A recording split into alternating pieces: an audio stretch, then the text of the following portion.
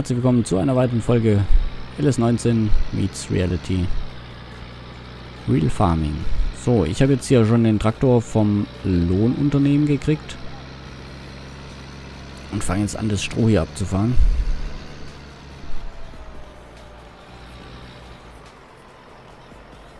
So.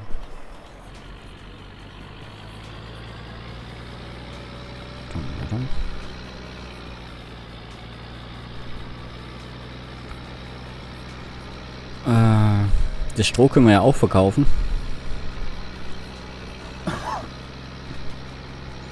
Das kaufen sie uns für 150 pro 1000 Liter ab. Ähm, das ist ja immerhin was, besser wie nix. Und vor allem ist es ein Zusatzgewinn zum Feldertrag.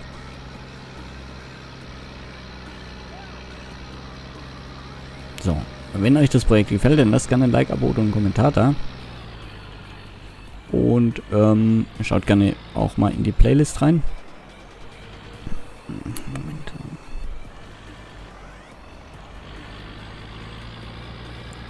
So.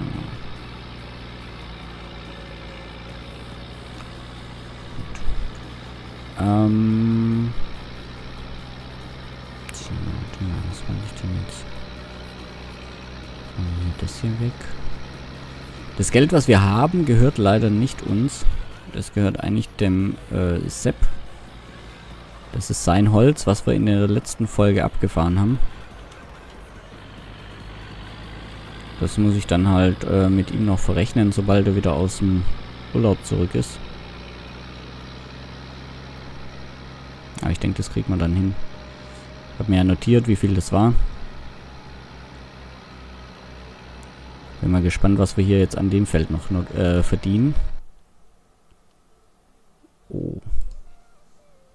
Okay, das ist gerade erst in die nächste Wachstumsphase gekommen, hoffe ich.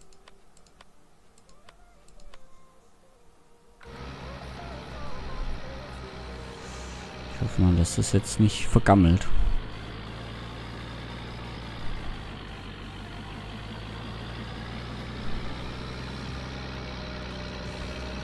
Ich denke, im LU haben wir wirklich einen guten Deal, dass wir äh, für die Fahrzeuge alles nichts bezahlen. Und sie aber ähm, auch uns nicht bezahlen müssen. So umgehen wir auch ein bisschen die Steuer, fällt mir gerade ein.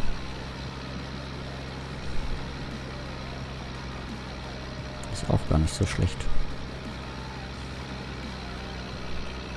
Ah, das ist ja interessant. Okay.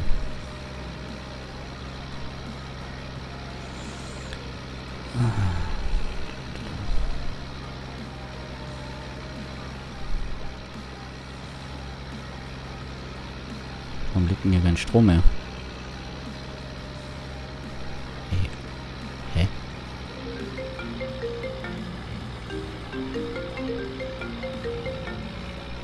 Volker Varuna Hallo? hier, hallo? Hallo, hier ist der Herr Reinhardt.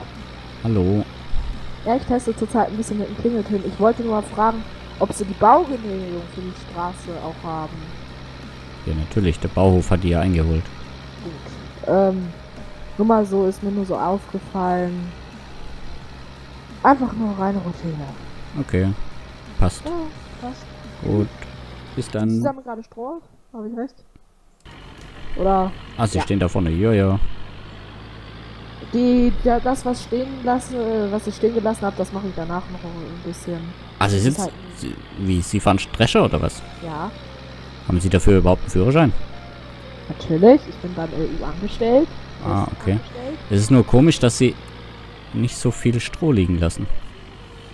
Das liegt daran, dass das Schneidwerk klein ist. Und je kleiner das Schneidwerk, desto weniger dick ist die Schwart. Nein, Sie haben... Okay, ich habe hier... Ähm, okay. Ne, gut, passt. Was? Alles gut, alles gut. Das ist Gut, irgendwie ein technisches Problem. Ähm, Ah, ja. okay, gut, bis dann. Tschüss. Tschüss.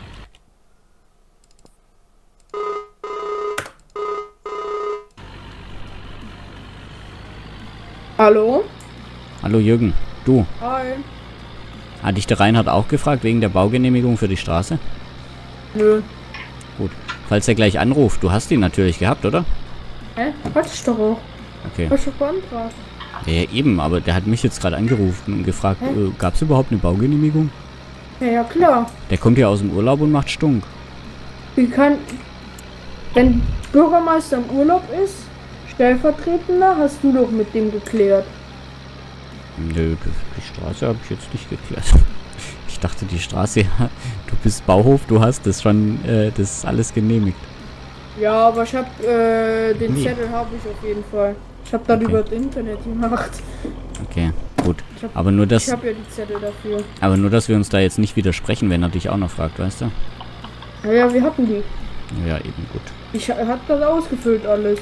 Ja, Dann ist ja alles im grünen Bereich. Außerdem ist das ja unser, unsere Felder. Also deine. Ja. Da hat er nichts mitzumengen. Äh, außer halt- das kleine Stückchen da, aber. Soll er meinen. Ja, ja. Kleines Stückchen, da ist ein bisschen Kies drüber geschüttet worden. Ja, ich weiß nicht. Weißt du, weißt du, der kommt aus dem Urlaub und dann denkt er, er kann hier den dicken Larry raushängen. Ey, was der jetzt an Steuern erhoben hat, das geht auf keine Hm. Kuhhaut. Was hat denn dann Steuern erhoben? Na, der wollte 46.800 von mir für den Äh. China-Import. Was? 180 Prozent. 180 Prozent Importsteuer wollte der haben.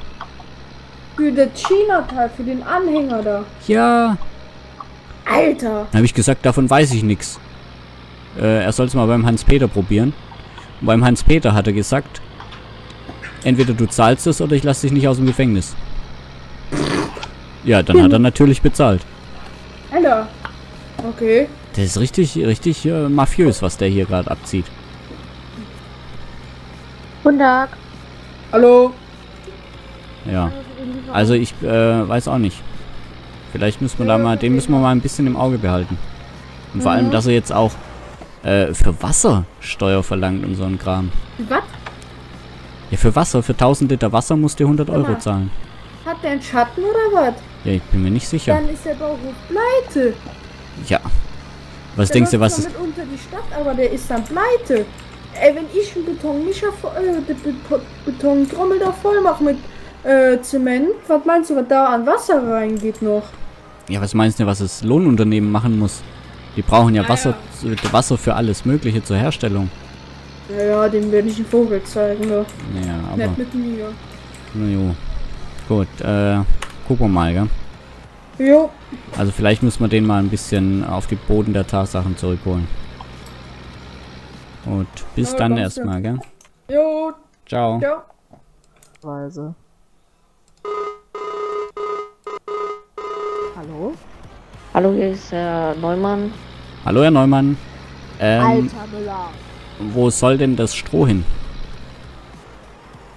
Äh, ihn nachgeschrieben. Hier, da ist so ein... Da ist so ein...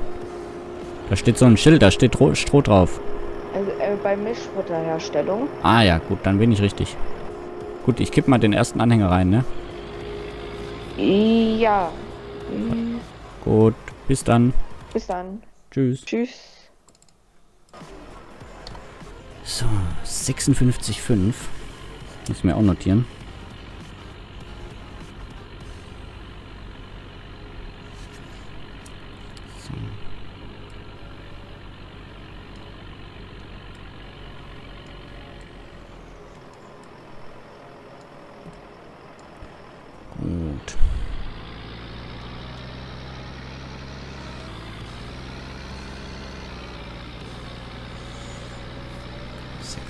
Die 5 mal... Das ist ein Achtel fast. Also 56 geteilt durch 8. sind 7, glaube ich. 7000 für einen Transport. Ist okay.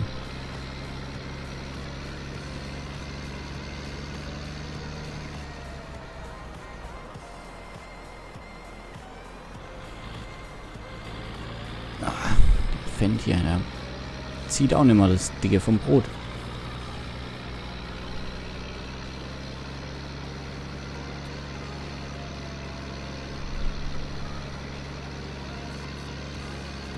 So. Also, wo der Drescher fahren gelernt hat, das möchte ich gerne mal wissen.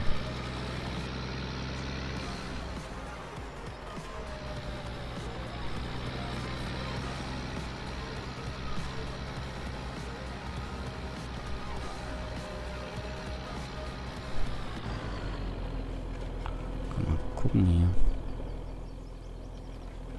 Okay.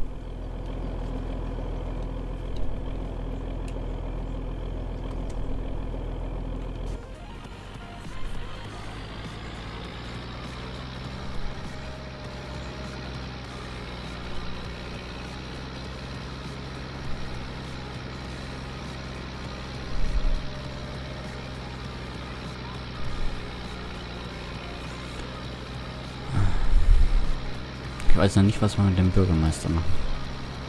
Aber so, wie der sich gerade aufführt, geht es, glaube ich, nicht so lange.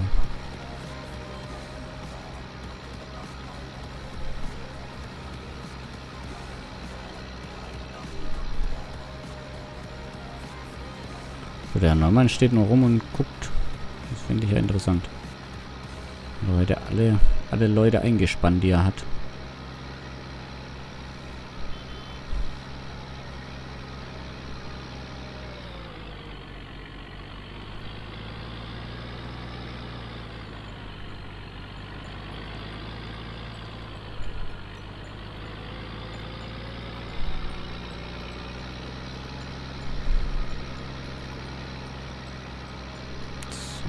Aber der ist gut, dann ist das Feld hier gleich mal fertig. Der Landhandel kriegt dann wenigstens äh, mal ein bisschen Kohle, äh, bisschen, bisschen Produktion am Start. Und nicht ein bisschen Kohle. Ich weiß gar nicht, hatte der das den Raps bezahlt?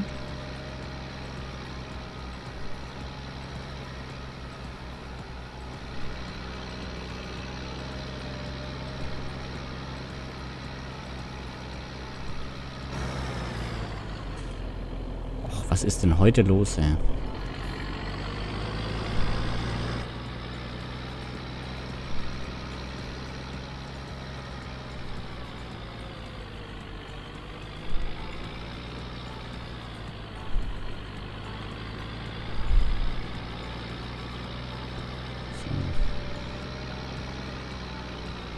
Was macht denn der?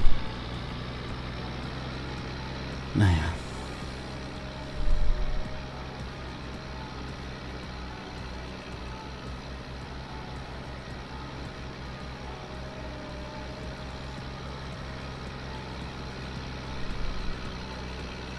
Ja gut, wenn ich nur mal so eine Ladung voll kriegen würde.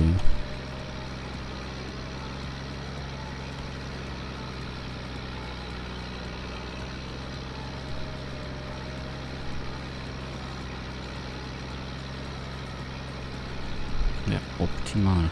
Dann wird man 14.000 allein vom Stroh verdienen.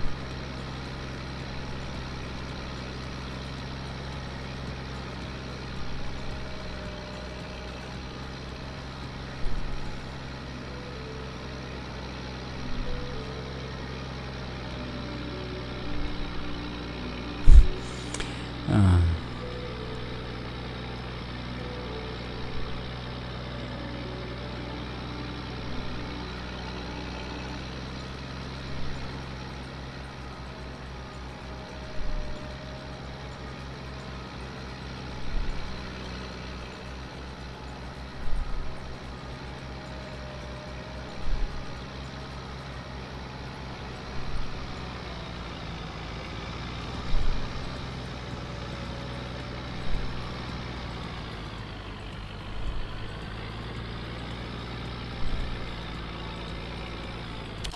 So, jetzt gehe ich mal rüber hier.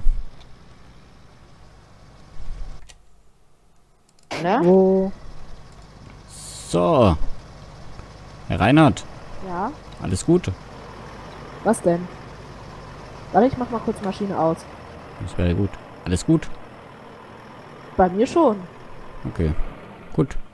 Nur manchmal hat das Teil vorhin irgendwie seine Servolenkung war mal ein bisschen außer Aussetzer, hat es der Teil.